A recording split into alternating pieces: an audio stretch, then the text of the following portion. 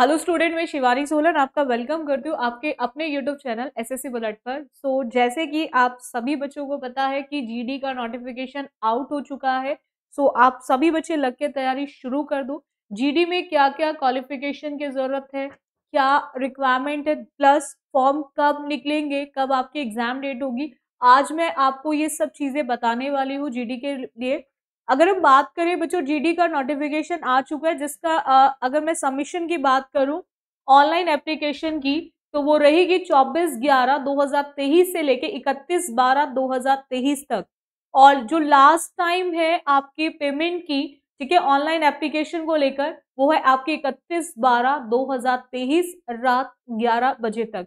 और last date जो online fee payment की मैं बात करूँ, अगर फ़ीस की बात करूँ तो वो रहेगी आपकी एक एक 2024 यानी कि एक जनवरी 2024 आपकी लास्ट पेमेंट की ऑनलाइन पेमेंट की डेट रहेगी। अगर हम बात करें यहाँ पर कि dates of window for application form correction यानी कि अगर आपको उसमें कुछ भी करेक्शन करनी है तो उसके लिए कौन सा टाइम होगा, कब आप करेक्शन उसमें कर सकते हो तो वो चार एक से लेके छः एक 2024 आप उसमें जो भी करेक्शंस हैं, वो कर सकते हो। और जो एग्ज़ाम होगा जीडी का, जो आपका एग्ज़ाम होगा जीडी का, वो आपका एग्ज़ाम होगा फैब और मार्च 2024 यानी कि फरवरी और मार्च 2024 में आपके जीडी का एग्ज़ाम होगा। तो यानी कि आपके पास टाइम बहुत कम है। नवंबर एंड है, दिसंबर, जनवरी दो महीने बचे हैं इस तैयारी के लिए। अगर हम बात करें इसके अंदर बच्चों कि किस किस चीज़ की रिक्वायरमेंट है ये एग्ज़ाम्स कितने लैंग्वेजेस में कराया जाएगा? तो ये आपके तेरह रीजनल लैंग्वेजेस में कराया जाएगा, जो आपका एग्ज़ाम कंप्यूटर बेस्ड होगा, वो तेरह रीजनल लैंग्वेजेस में कराया जाएगा, जिसमें आप देख सकते हो बंगाली है, असामीज है, गुजराती है, उड़िया है, पंजाबी है, तमिल है, ये तेरह लैंग्वेजेस में ये एग्ज़ाम आपका कराया जाएगा।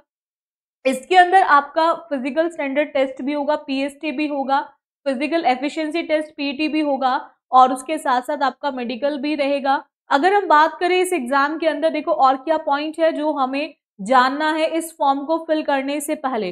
देखो, बहुत सारे ऐसे बच्चे होते हैं जिनको प्रॉब्लम आती है कि किस तरह से हम इसको फिल करें। उसके लिए कुछ नहीं करना आपको।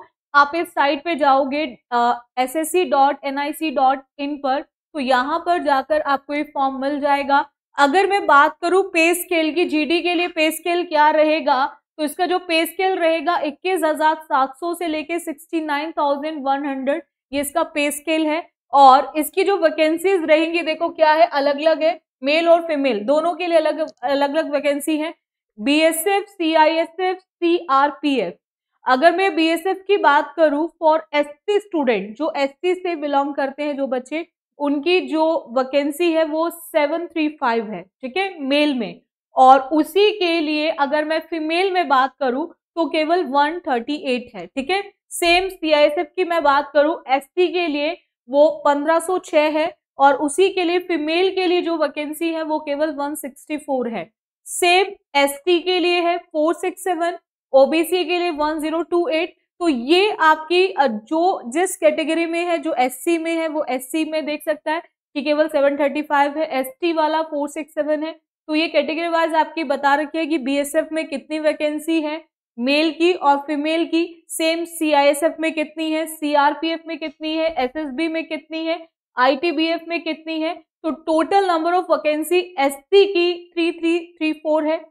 सेम अगर मैं एसटी की बात करूँ टू थ्री फाइव फोर है तो ये आपकी टोटल वैकेंसी जो आ रही है, वो छब्बीस हज़ार एक सौ छियालीस वैकेंसी है टोटल जो आपकी जीडी के लिए निकाली हुई है, ठीक है?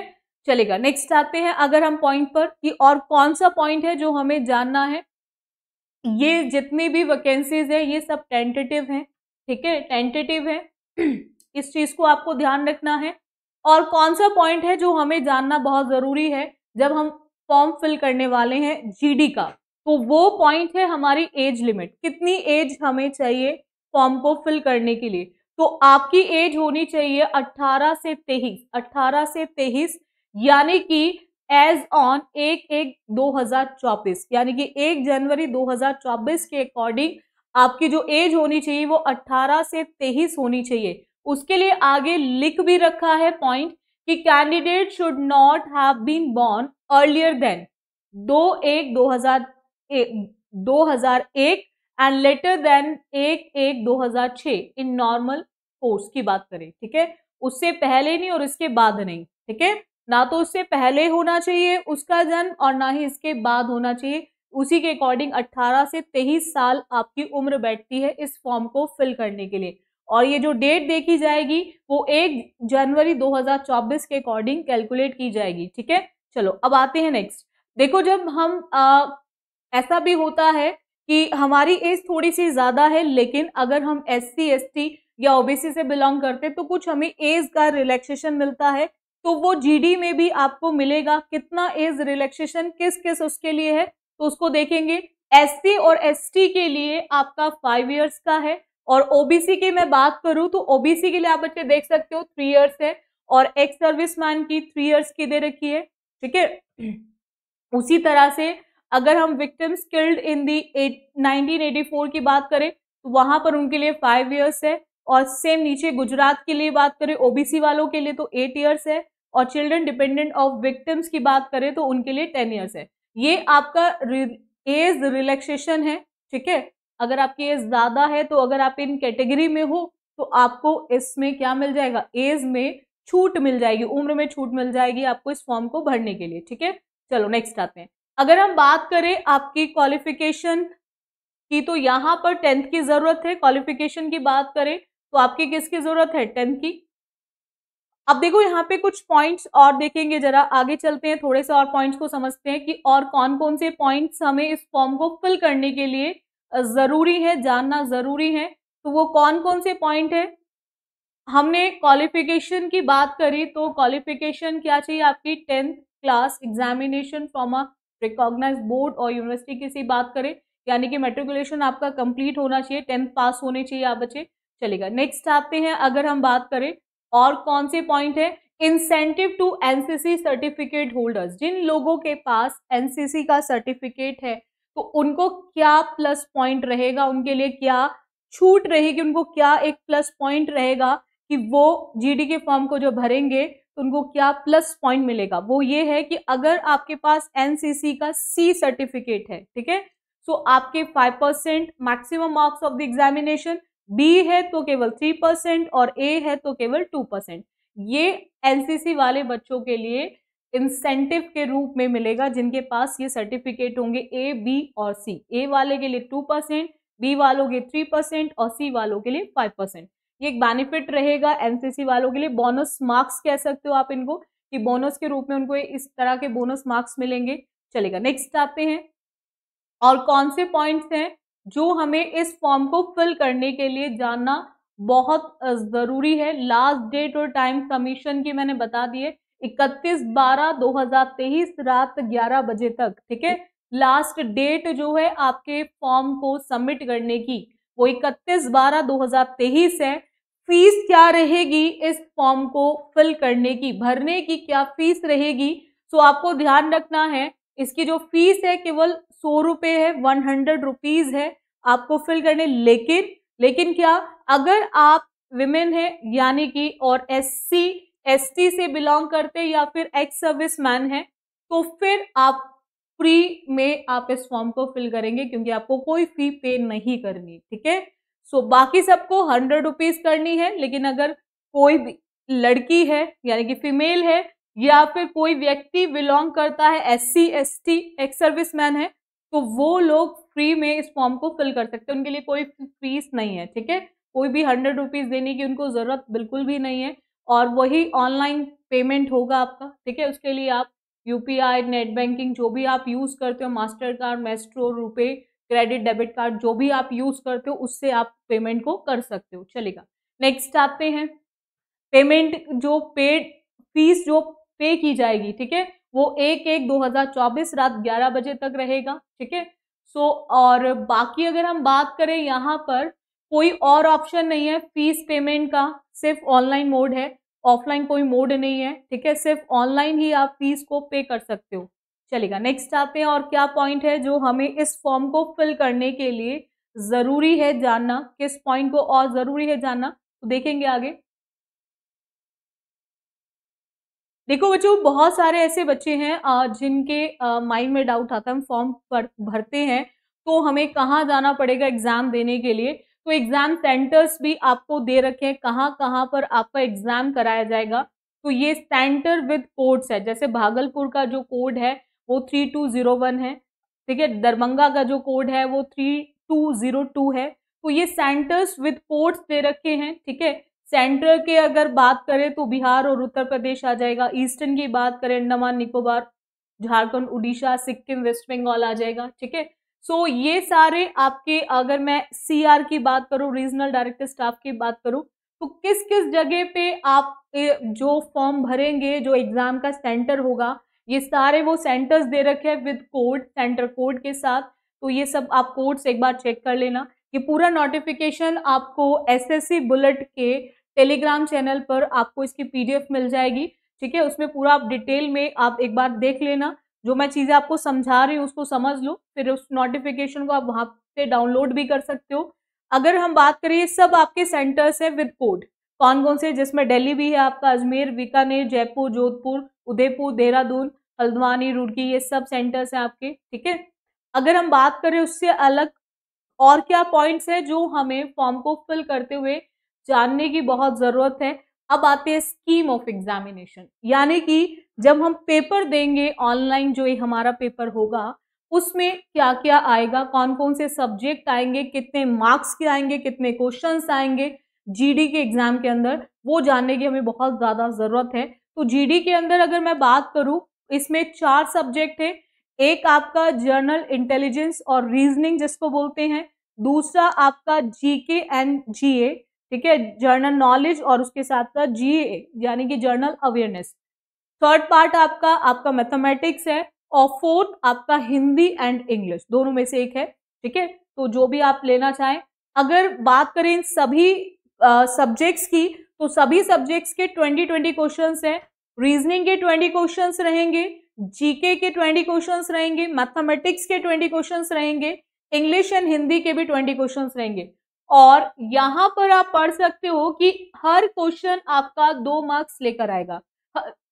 हर क्वेश्चन कितने मार्क्स लेकर आएगा? दो मार्क्स लेकर आएगा। नंबर ऑफ़ क्वेश्चंस कितने हैं? चार सब्जेक्ट एट्टी क्वेश्चंस वही चीज़ ऊपर लिखी हुई है कि ऑब्जेक्टिव टाइप पेपर में कितने क्वेश्चंस होंगे? आपके एट्टी क्वेश्चंस होंगे और कैरिंग टू मार्क्स वो हर एक क्वेश्चन दो मार्क्स लेकर आएगा और यानी कि twenty question forty marks twenty question forty marks ठीक है? और इसके लिए हमें टाइम कितना मिलेगा? ठीक है? हम कितना टाइम हमें दिया जाएगा एग्ज़ाम के लिए? तो आपको 60 मिनट्स मिलेंगे, यानी कि आपको 80 क्वेश्चन को 60 मिनट में करना है, यानी कि एक घंटे में आपको 80 क्वेश्चन करने हैं एग्ज़ाम में, चलेगा। नेक्स्ट आते हैं। ये जो आपके एग्ज़ाम होगा, ऑब्जेक्टिव मल्टीपल चॉइस क्वेश्चन जो रहेंगे टाइप के, और ये किन किन लैंग्वेजेस में कराए जाएँगे जो हमने पढ़ा था ऊपर, वही लैंग्वेजेस नीचे दे रखे, रीजनल लैंग्वेजेस में होंगे, जिसमें असामीज, बंगाली, गुजराती, ठीक है? अच्छा अब पॉइंट बहुत सारे ऐसे बच्चे होते हैं कि जब वो एग्ज़ाम देने जाते हैं तो उनके माइंड में डाउट आता है, क्या हम तुक्के लगा लें? तुक्के लगा लें? यानी कि क्या हम गेस वर्क कर सकते हैं? गेस समथिंग जो हम, बहुत सारे बच्चों को रहता है अच्छा नहीं आता तो लगा देते हैं। अब बहुत सारे बच्चों को ये डाउट रहता है, अगर नहीं आता है, लगा दिया तो जो सही था वो भी गलत तो नहीं हो जाएगा, यानी कि नेगेटिव मार्किंग क्या इसमें कोई नेगेटिव मार्किंग है? तो बिल्कुल नेगेटिव मार्किंग रहेगी। नेगेटिव मार्किंग कितने मार्क्स की रहेगी? पॉइंट टू फाइव की।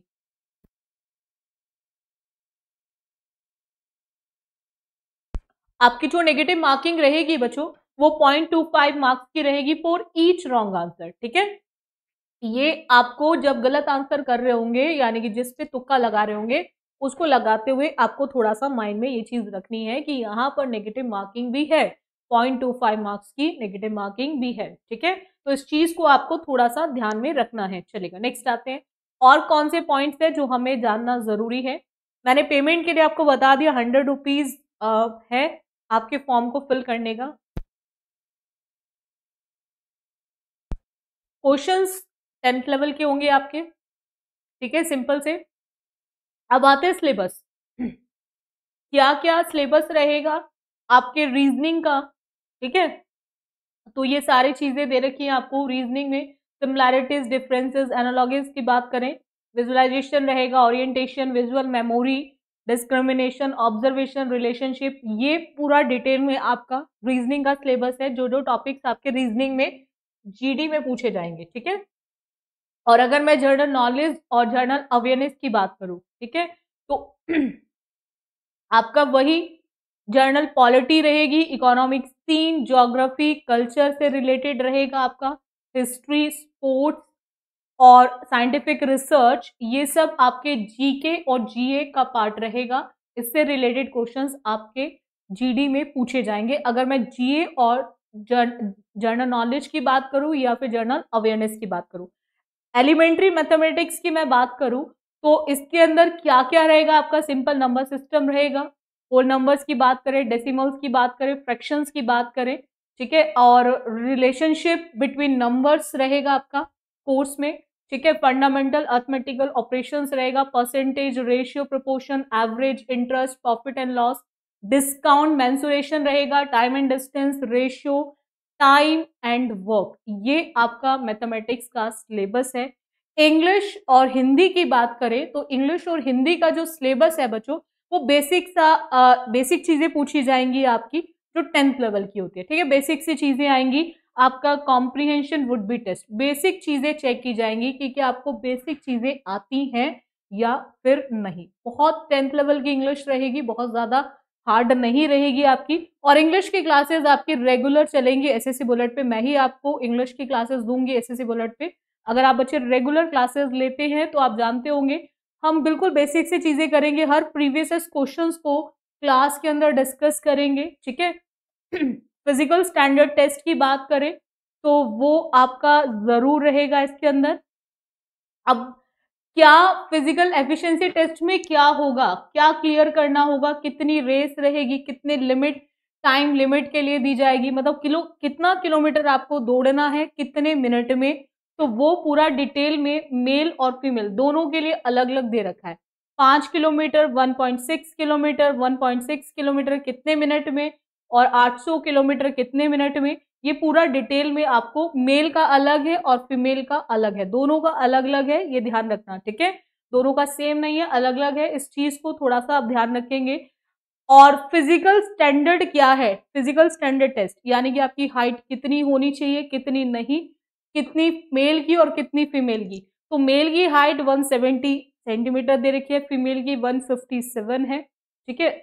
इसके अंदर भी कुछ रिलैक्सेशन है, इसमें भी हाइट में भी रिलैक्सेशन है, लेकिन उसके लिए भी कुछ कैटेगरी में हो तो ठीक है? वो क्या रिलैक्सेशन है? अगर आप एसटी से बिलोंग करते हो तो मेल के लिए केवल 162 चाहिए, वैसे तो मेल के लिए कितनी चाहिए? 170 लेकिन अगर आप एसटी से बिलोंग करते हो तो केवल 162 चाहिए, ठीक है? और फीमेल के लिए केवल 150 चाहिए, वैसे फीमेल के लिए 157 चाहिए, ठीक है? तो ये एक डिफरेंस आ जाएगा। और अगर आप नॉर्थ ईस्ट के स्टूडेंट हो, ठीक है तो वो केवल 157 और 147 क्योंकि जहाँ की हाइट जितनी रह जाती है, उसी के अकॉर्डिंग है। और सेम उनकी बात करें, जो अफेक्टेड डिस्ट्रिक्ट्स की बात करें तो उनके लिए केवल 160 चाहिए और 147 और अगर आप डोगरा से हो या यूटी जे के हिमाचल प्रदेश, असम से हो तो वहाँ पर मेल की केवल 165 और फीमेल की 155 ठीक है? सो ये आ, हर स्टेट के अलग अलग तरीके से रिलैक्सेशन दे रखा है क्योंकि सभी स्टेट्स की हाइट मतलब वहाँ के लोगों की की हाइट उन्हीं की जगह उन्हीं की जैसी होती है तो उसी के अकॉर्डिंग यहाँ पे रिलैक्सेशन भी दे रखा है ठीक है? चलो नेक्स्ट आते हैं। और क्या पॉइंट है हमें जो इसमें जानने की बहुत ज़रूरत है? फॉर्म को फिल करने के लिए। यहाँ पे चेस्ट की बात करें male candidate should have following standard of chest measurement unexpanded की बात करें 80 और मिनिमम की बात करें 5 सेंटीमीटर ठीक है? और इसमें भी आपको रिलैक्सेशन मिलेगा, ठीक है? वही सेम कैटेगरी वाइज एस से है, कुछ पर्टिकुलर स्टेट्स की बात करें वेट का भी रहेगा इसके अंदर। तो ये सब आपका फ़िज़िकल का पॉइंट है। जो अभी ज़रूरी नहीं है फॉर्म को फिल करने के लिए जब फ़िज़िकल होगा उस टाइम पे ये सारी चीज़ें चेक की जाएँगी। सो so, आप बिल्कुल भी देरी ना करें। टाइम बहुत कम है फॉर्म आपका आ ही जाएगा ठीक है? और आपको बिल्कुल भी लेट नहीं करना है तैयारी बहुत जल्दी से शुरू करनी है। फैब और मार्च में एग्ज़ाम है और आपके पास दो महीने बचे हैं कंप्लीट एक दिसंबर और दूसरा जनवरी। क्योंकि फैब और मार्च में जब एग्ज़ाम होगा तो ऑलरेडी आप प्रेशर में होंगे तो इसलिए दो महीने हैं, लग के तैयारी शुरू कर दो। ऑलमोस्ट आप ये लगा लो आपके पास साठ दिन है, ठीक है? और साठ दिन में आपको लग के तैयारी करनी है। सो क्लासेस आपकी स्टार्ट हो रही है एस एसएससी बुलेट पे जीडी की इंग्लिश की क्लास डेली बेसिस पे मॉर्निंग में रहेगी 11 बजे। आप सभी बच्चे ज़रूर क्लास को लेंगे, जिसके अंदर मैं आपको सब टाइप के क्वेश्चन कराऊँगी, जो आपके जीडी एग्ज़ाम्स में पूछे गए हैं। और जिस तरह के क्वेश्चंस आपके एग्ज़ाम में आएँगे। वो सब क्वेश्चंस मैं आपको एक एक आपको 11 बजे की क्लास में कराऊँगी तो जो भी बच्चा जीडी की तैयारी करना चाहता है, वो सब बच्चे ज़रूर जुड़े, ठीक है? So thank you student for the session बाकी क्लास ज़रूर ले। मंडे से क्लास स्टार्ट हो रही है आपकी जीडी की 11 बजे, और आप सब बच्चे ज़रूर क्लास को ले।